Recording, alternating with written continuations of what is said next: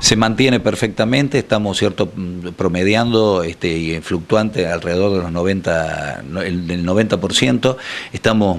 eh, realmente, nos llama la atención la, continuidad, este, esta como decimos siempre, esta inercia que comenzó en, en, fin de año con las fiestas tradicionales de la Navidad, para muchos comerciantes que nos, comentan, que nos comentan algo inesperado, no se pensaba, por más que nosotros veníamos anticipando y el, el, pronóstico era que íbamos a tener una presencia marcada de público, fue una sorpresa muy grande, bueno, y esto continúa, una muy buena presencia sumada a la gran cantidad de público que desde los, los otros eh, cuatro valles de la provincia de Córdoba se llegan hasta aquí. Sumaron prácticamente en un 60% las excursiones respecto al año pasado, eh, sobre todo proveniente de Tras la Sierra y de Carlos Paz y de la ciudad de Córdoba. Eh, bueno,